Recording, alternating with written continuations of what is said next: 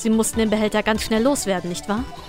Und deshalb haben sie ihn jemanden ge gegeben, der nichts mit dem Fall zu tun hatte. Jemanden, von dem sie wussten, dass er nicht durchsucht werden würde. Wer ist diese Person? Herr Phoenix White natürlich. Angeklagte war also der Kompliz dieser Zeugin? Natürlich nicht. Sie hat ihm das Gift als Geschenk getarnt übergeben. Was?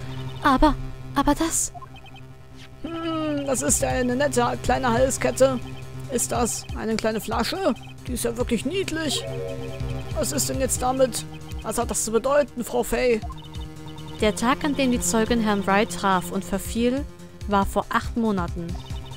Der 27. August. Das ist derselbe Tag, an dem auch die Vergiftung passierte. Unter der Vorspie Vorspielung von Liebe gab die Zeugin meinem Mandanten ein Geschenk. Das hatte nur den Zweck, das Beweisstück zu verstecken, das sie verraten hätte. Was? Behaupten Sie etwa, dass darin tödliches Gift ist? Nein, in dieser Flasche ist kein Gift mehr. Allerdings, ich bin mir sicher, dass das Kriminallabor noch Giftspuren nachweisen kann. Nein! Ah! Oh, sie hat geschrien. Ruhe, Ruhe im Gerichtssaal. Ah, ähm. Im Namen von Dolly erhebe ich Einspruch. Herr Wright, beherrschen Sie sich. Ich werde nicht zulassen, dass Sie ihr so zusetzen. Herr Wright, ich habe Ihnen doch gesagt, Sie sollen sitzen bleiben. Herr Wright, warum? Warum geben Sie sich so viel Mühe, sie zu beschützen?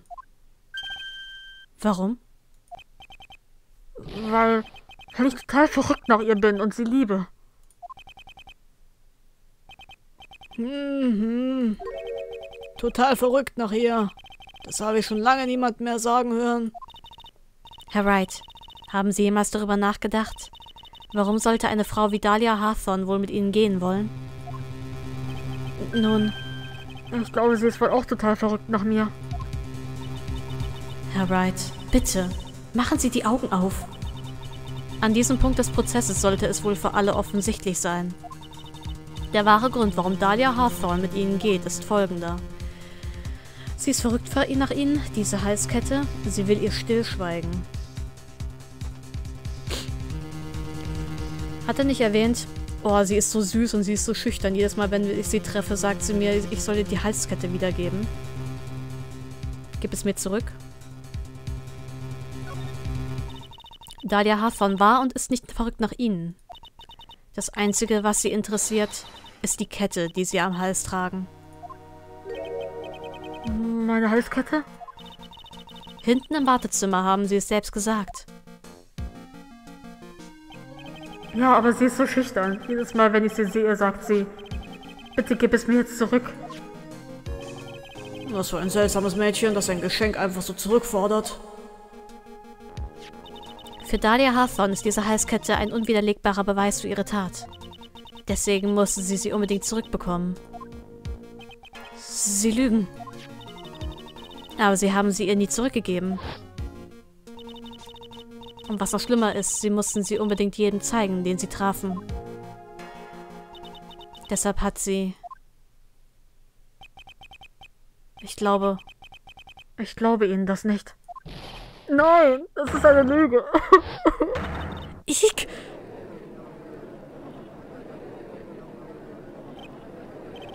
Ja, alles in Ordnung. Ah, der Angeklagte. Er haut ab. Gerichtsdienst, schnell, ihm nach. Mia, Mia, alles in Ordnung? Ja, ich glaube schon. Dieser Junge, er ist völlig durchgeknallt. Wo, wo ist Herr Wright? Sieht so aus, als hätte der Gerichtsdiener ihn geschnappt. Er müsste bald zurück sein. Gott, Gott sei Dank. Oh nein! Was ist denn? Die Kette mit der Flasche. Frau Hawthorns Geschenk. Sie ist weg. Was? Das ist ja schrecklich. Herr Wright musste sich gegriffen haben, als er mich angerempelt hat. Törichter Junge. Das war das Einzige, was ihn hätte retten können. Was in drei Teufels Namen sollen wir jetzt nur tun?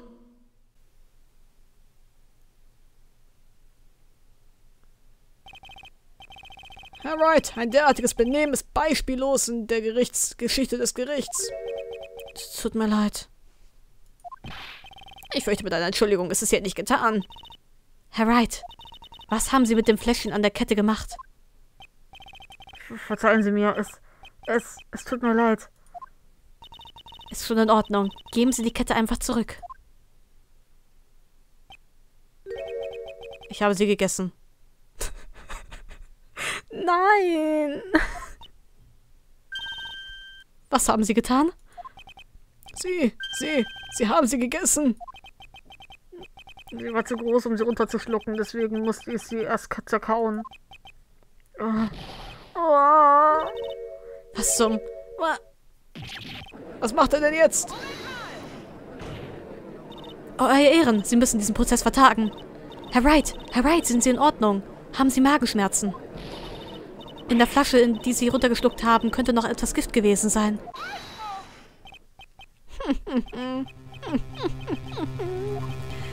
Es scheint, als hätte der Angeklagte den Fall für die Anklage gewonnen. Diese Flasche hat eindeutig kein tödliches Gift enthalten. Wie können Sie sich da so sicher sein? ich denke, das ist offensichtlich. Wie Sie sehen, ist der Angeklagte immer noch ziemlich lebendig. Was das Gift betrifft, das ist wohl ein Produkt der Fantasie der jungen Verteidigerin. Hm, so scheint es. Nein, da muss ein Fehler vorliegen. In der Flasche war wohl kein Gift mehr drin. Entweder das oder das Gift muss seine Wirkung verloren haben. Oje, oje. Ist schon gut, Anfängerin. Dem Mandanten zu vertrauen ist das Nobelste, was ein Verteidiger tun kann. Und es ist rührend zu sehen, dass sie so viel Vertrauen in Herrn Wright hatten. Aber genauso ist es auch auf der Seite der Anklage. Ich würde beispielsweise der Zeugin Frau Hawthorne mein eigenes Leben anvertrauen. Aus diesem Grund kann ich konstatieren, dass ihre Meinung von ihr falsch ist. Das reicht jetzt, Frau Fay. Leider kann ich Ihre Erklärung der Ereignisse nicht akzeptieren. Aber warum denn nicht? Möglicherweise ist das für eine Anfängerin wie Sie schwer zu verstehen. Aber vor Gericht zählen Beweise und sonst nichts. Obwohl ich so viel bewiesen habe, kommt sie mit allem davon? Nun, da sich der Verdacht gegen Frau Harfor nicht erhärtet hat, würde ich gerne mit dem Prozess fortfahren. Herr. Herr Wright? Tut mir leid, Frau Fay. Es war mir völlig entfallen. Es tut mir wirklich leid. Ich weiß, dass Sie mir geglaubt haben. Und ich habe Sie im Stich gelassen. Herr Wright, was wollen Sie denn damit sagen? Ähm, ich habe vergessen, Ihnen etwas zu sagen. Und was wäre das? An jenem Tag, an dem Tag, an dem ich Doug Doug Swallow begegnet bin.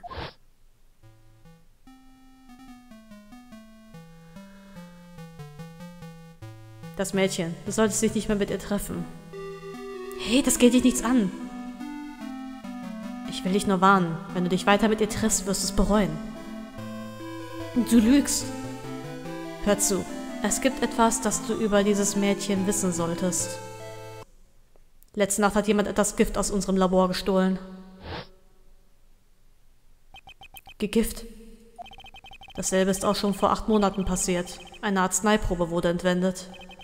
Sie war auch damals ins Labor gekommen. Es kann nur sie gewesen sein. Dieses Mädchen ist eine Diebin. Hör auf damit! Hör auf, so schlecht über sie zu reden.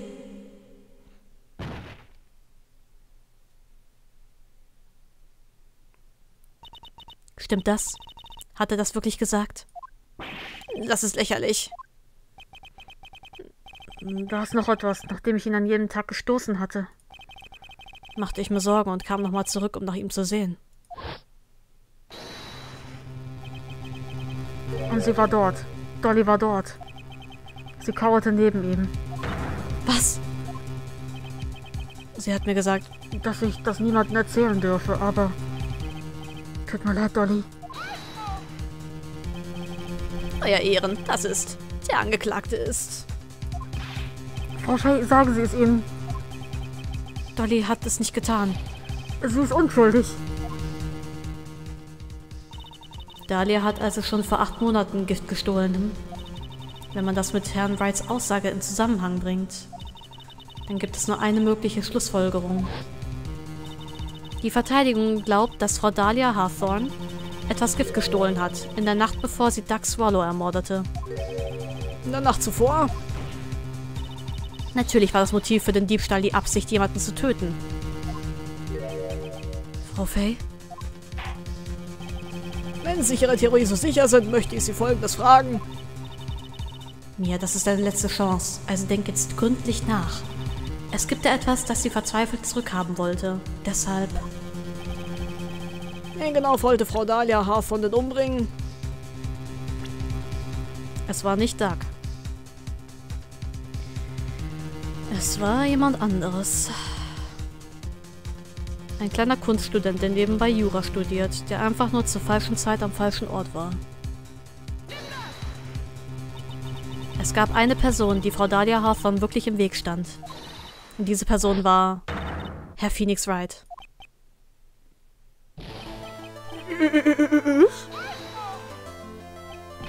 Das ist völlig absurd.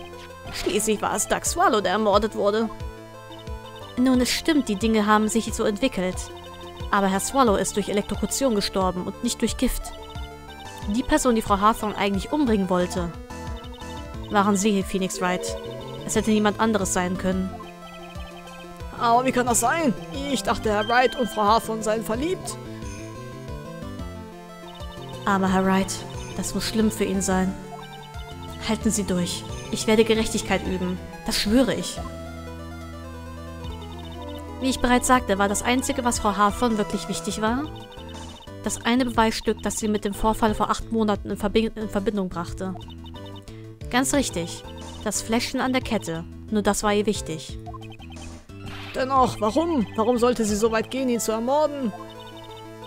Vor acht Monaten, direkt nach dem Tod des Anwalts in der Kantine im Untergeschoss, konnte Dahlia Hawthorne nun noch an eines denken.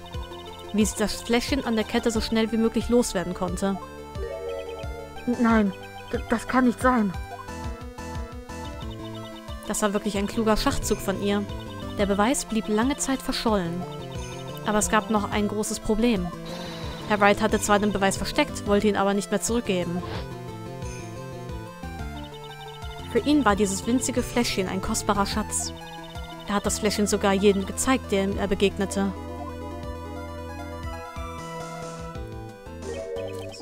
Meinen, deshalb wollte sie Herrn White umbringen? Richtig, Euer Ehren. Um wieder an das Beweismittel heranzukommen. Das ist nicht wahr. Jetzt heult er wieder rum. Fini, was für eine Witzfigur du doch bist.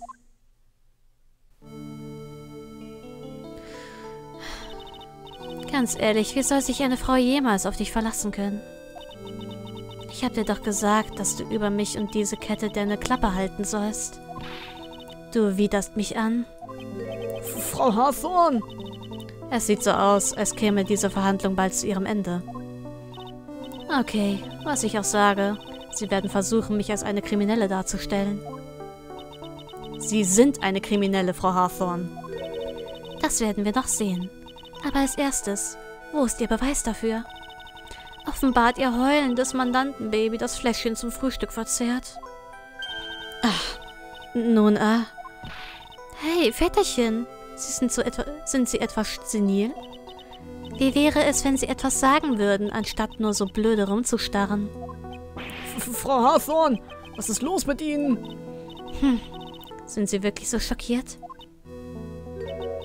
Oder mögen Sie es lieber, wenn ich so bin, Herr Richter? Hm. Ohne Beweise behandeln Sie eine freiwillige Zeugin wie eine Massenmörderin. Nun, ich habe nichts weiter zu sagen. Ich werde jetzt gehen, wenn Sie nichts dagegen haben. Aber Sie sind noch nicht fertig. Na gut, dann bitten Sie diese böse alte Hexe, sich zu beeilen.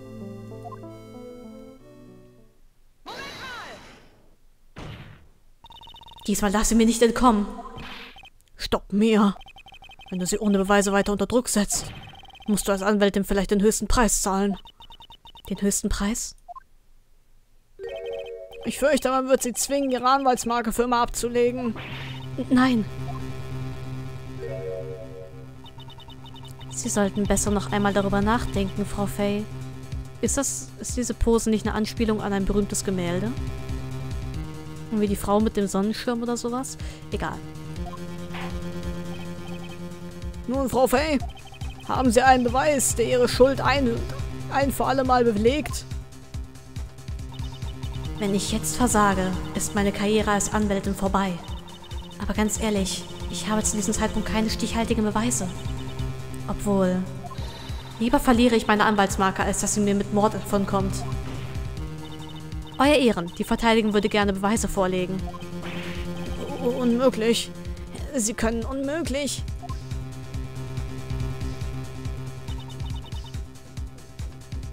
Klopft irgendjemand rum. Okay. Dummes Weibstück. Da klopft wieder einer. Aufhören. Ich nehme gerade auf. Alter. Das Gericht ist der Meinung, dass bereits genug gesagt worden ist. Deshalb dürfen Sie auch nur einen einzigen Beweis vorlegen. Nur einen einzigen? Sollten Sie nicht in der Lage sein, Ihre Schuld zu beweisen, so wird, fürchte ich, sofort ein hartes Urteil über Herrn White gesprochen. Verstanden, Euer Ehren. Ich habe schon die morgigen Schlagzeilen der Zeitung vor Augen. Aufstrebende Anwältin im Sturzflug zurück zur Erde. Sie hatte vor, Herrn Wright oft zu vergiften. Wenn das der Fall ist, dann befand sich das Gift wahrscheinlich da drin. Na schön, Frau Fay, bitte legen Sie Ihren Beweis vor. Zeigen Sie diesem Gericht den Beweis, dass Frau Hawthorne Herrn Wright vergiften wollte. Pass auf. Phoenix ist ja offensichtlich erkältet. Das äh, ist schon ziemlich klar geworden jetzt in letzter Zeit. Und gegen seine Erkältung hat er ein gewisses Hustenmittel genommen. Hustenkiller X. Er sagte, er nimmt es zu jeder Mahlzeit ein. Das heißt, jeder seiner Freunde, mit denen er zusammen ist, weiß davon. Er hat ganz klein eindeutig gesagt, dass er zum Mittag immer mit Dahlia ist, also mit Dolly. Sie wusste also auch davon, dass er dieses Zeug nimmt. Am gleichen Tag, wo Doug Swallow gestorben ist, ist dieses Ding plötzlich zum Mittag verschwunden. Mittag? Wir wissen, Mittagessen macht er immer mit Dolly. Sich in der Faust des Opfers, weist Wrights Fingerabdrücke auf. Das ist definitiv seine Flasche.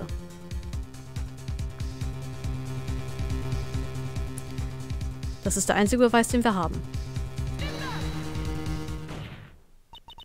Das ist es, Euer Ehren. Der Beweis, der ihre Schuld belegt, ein für alle Mal. Hustenkiller X. Phoenix White heiß geliebte, Phoenix Whites heißgeliebte Erkältungsmedizin. unsere Strafverteidigerin hat unsere Strafverteidigerin etwa einen kleinen Schnupfen? Selbst wenn dem so wäre, würde ich diese Medizin nicht einnehmen. Denn sie wurde vergiftet. Was? Erinnern Sie sich daran, was der Angeklagte in seiner Aussage gesagt hat? Aber ich hatte meine Dose an dem Tag des Unfalls gegen Mittag verloren. Ich esse immer mit Dolly. Nur wir beide. Sie war diejenige, die seinen Hustenkiller X genommen hat. Dann hat sie Herrn Whites Medizin vergiftet, denn sie wusste, er würde sie nehmen. Das ist aber wirklich an den Haaren herbeigezogen. Schließlich war es das Opfer, Doug Swallow, das die Medizin in der Hand gehabt hat. Ich bitte das Gericht, sich an das Verbrechen vor acht Monaten zu erinnern. Wo hatte Frau Hawthorne den Beweis versteckt? Wie? Wovon reden Sie? Vor acht Monaten war das Gift in dem Fläschchen an ihrer Kette versteckt. Die sie jemand anderem gab, der sie für sie aufbewahrte. Jemand, den sie zufällig im Leseraum getroffen hat. Meinen Mandanten Phoenix White. Ja, und diesmal hat sie das gleiche getan. Nachdem Herr Phoenix Wright das Opfer gestoßen hatte, verließ er den Tatort. Das war der Zeitpunkt, an dem die Mörderin, Dahlia Hawthorne, auftauchte. Sie hat die Dose mit dem vergifteten Hustenkiller X bei sich. Aus dem Grund, weil sie ja vorhatte, Herrn Wright zu vergiften. Hm, ihre Aussage war doch, dass sie sich mit dem Angeklagten treffen wollte. Ja, und sie hat alles gehört und gesehen, was am Tatort geschehen war. Auch den Streit zwischen Angeklagten und Opfer und das durchgetrennte Stromkabel. Da wurde ihr klar, Dark Swallow darf nicht länger am Leben bleiben. Sie benutzte das durchtrennte Stromkabel, um ihn für immer zum Schweigen zu bringen. Dann tauchte zu ihrem Leidwesen das Problem auf. Herr Wright, der den Tatort verlassen hatte, kam zurück, um nach dem Opfer zu sehen. Und zu allem Überfluss kamen auch einige Studenten wegen des Stromausfalls herbei. Deshalb ist es kein Wunder, dass sie, wie sie selbst sagte, in Panik geriet. Wie sie sich erinnern, hatte sie die Dose mit der vergifteten Medizin bei sich. Sie muss gedacht haben, was ist, wenn ich durchsucht werde, wie vor acht Monaten? Vor acht Monaten? Ja, sie wurde das Beweismittel auf die gleiche Weise los, wie damals auch schon. Sie gab sie jemand anderem in die Hand, in diesem Fall Doug Swallow.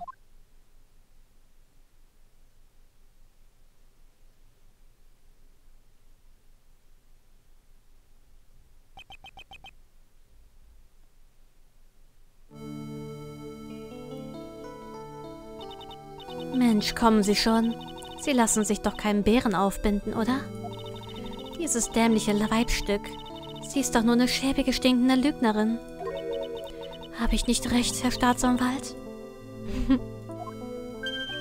Wie? Ja, genau richtig. Das ist reine Verzweiflung. Hm, ich frage mich nur, wer hier die Verzweifelte ist. Also, Frau Hawthorne, diese Erkältungsmedizin. Ich frage mich, ob Sie nicht etwas davon nehmen wollen. Hm. Nun, Herr Wright hat Ihre Kette vergessen, richtig? Nun sind Sie dran, Ihre Unschuld zu beweisen. Was sagen Sie dazu?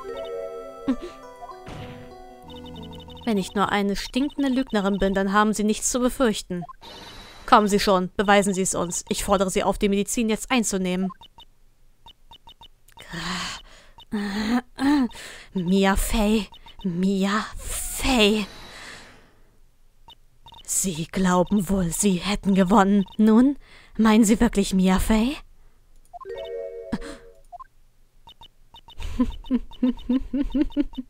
Das ist in Ordnung. Vorläufig jedenfalls. Vorläufig gehört der Sieg Ihnen. Vorläufig? Nun, ich habe ein sehr gutes Gedächtnis, wissen Sie. Sie und ich, wir werden uns wieder begegnen. Da bin ich mir sicher. Also gut, Herr Richter. Ich werde Sie später wiedersehen, okay? Wie? Äh, warum? Ähm, ja. Ich werde jetzt eine eintönige Zeit mit dem Herrn in Blau verbringen. Ich wünsche Ihnen alles Gute.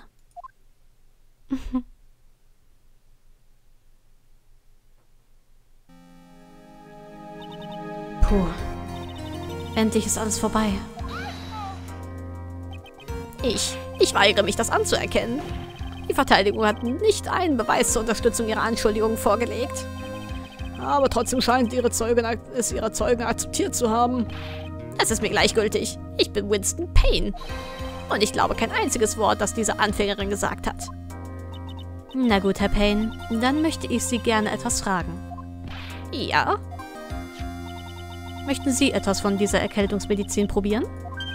Was? Ich hätte schwören können, noch vor kurzem haben Sie gesagt. Oje, oje, ist schon gut, Anfängerin. Ich würde beispielsweise der Zeugin Frau Hawthorne mein eigenes Leben anvertrauen. Also, wenn sie so vertrauenswürdig ist, dann kann da ja unmöglich Gift drin sein, richtig? Äh, nun, ähm, wissen Sie, ähm, ja. Und hier kommt der Rückzieher. Kommen Sie schon, Grünschnabelkiller. Zeigen Sie dem Anfänger, wie es geht. Wie viel Vertrauen bringen Sie dieser Frau wirklich entgegen? Wollen Sie wirklich Ihr Leben darauf verwetten?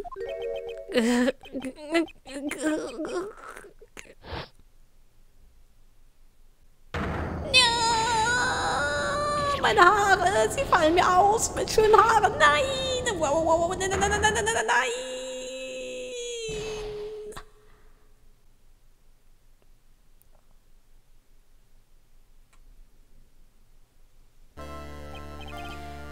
Herr Payne, was diese Frau Dahlia Hawthorne angeht. Ja, Herr Ehren, ich werde die Papiere für Ihre sofortige Festnahme ausfüllen. Hm, tragisch, aber nicht überraschend. Mir kam sie von Anfang an verdächtig vor. Lügen Sie doch nicht. Geben Sie einfach zu, dass Sie sich geirrt haben. Übrigens, Frau Fay, Ja, Euer Ehren?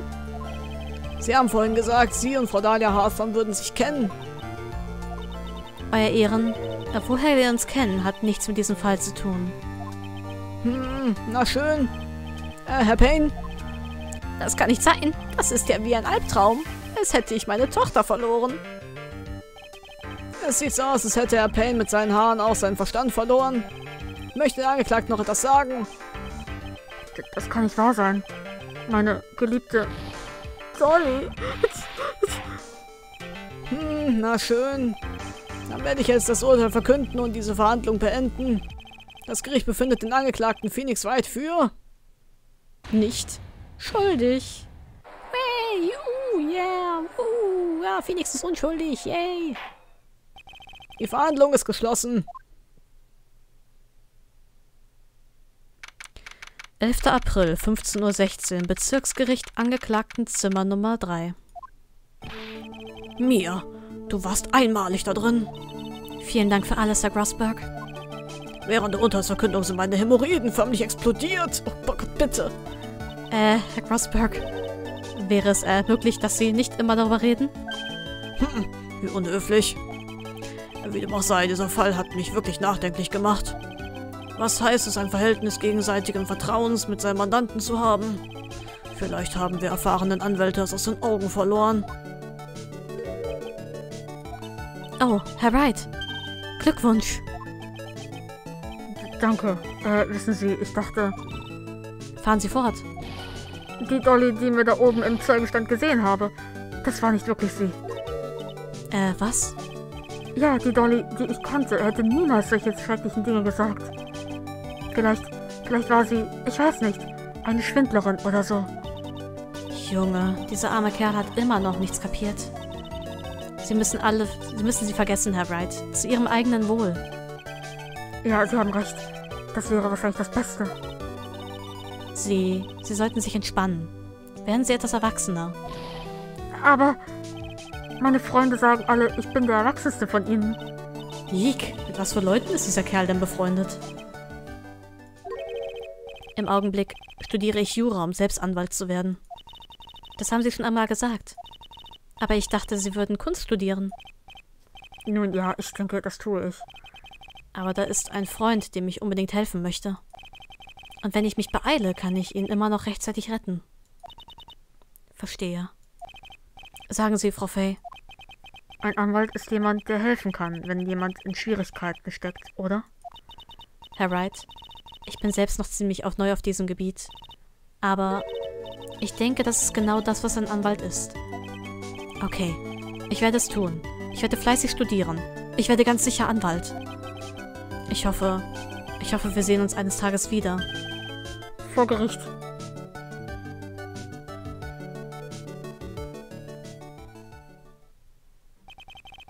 Es ist fünf Jahre her, dass ich von allen Anklagepunkten freigesprochen wurde. Ich wurde Anwalt, wie ich es geplant hatte, und konnte meinen Freund retten. Aber Mia ist jetzt in einer besseren Welt. Diese Verhandlung bringt für mich eine sehr, sehr viel schmerzhafte Erinnerung ans Tageslicht. Aber es sind auch viele sehr kostbare Erinnerungen dabei. Und Erinnerungen, von denen ich niemals dachte, dass sie je wieder auftauchen würden. Mia weilt jetzt nicht mehr unter uns. Aber trotzdem kann ich sie im Geiste hören. Phoenix, egal was passiert, vertraue deinem Mandanten immer. Vor Gericht ist dein Vertrauen deine stärkste Waffe. Fünf lange Jahre. Es ist etwas geschehen, das mich an ihre weisen Worte erinnert. Aber das ist eine andere Geschichte. Episode 1 Wandel der Erinnerung Ende. Jo, Spielstand, äh, Spielfortschritt bis zu diesem Punkt speichern. Ja, wir haben jetzt äh, ein sehr langes Tutorial absolviert. Wir haben Phoenix gerettet, aber wir konnten im Endeffekt leider Mia nicht retten. Es war trotzdem schön, äh, in diese Erinnerung reinzuschauen. Und es sind noch einige offene Fragen da. Was ist Ihr Verhältnis zu diesem anderen Anwalt gewesen? was ist diese Sache, die sie nicht erzählen wollte, wo sie Dahlia Hath, Hawthorne, Hawthorne, das ist voll der Zungenbrecher, das erste Mal gesehen hat. Und überhaupt, was uns jetzt eigentlich mit dieser Erinnerung, die jetzt wieder aufgetaucht ist. Aber das erfahren wir alles dann in den weiteren Aufnahmen. Also, vielen Dank fürs Zusehen und wir sehen uns dann hoffentlich in der nächsten Folge wieder und in der nächsten Aufnahme wieder. Bis dahin. Ciao, ciao.